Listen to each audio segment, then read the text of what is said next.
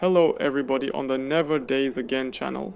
In this battle, a 650,000 strong Roman army of Roman soldiers, Roman archers, Roman generals, catapults and barbarian girls will face a huge horde of 2.8 million zombies, aliens, werewolves and other evil units.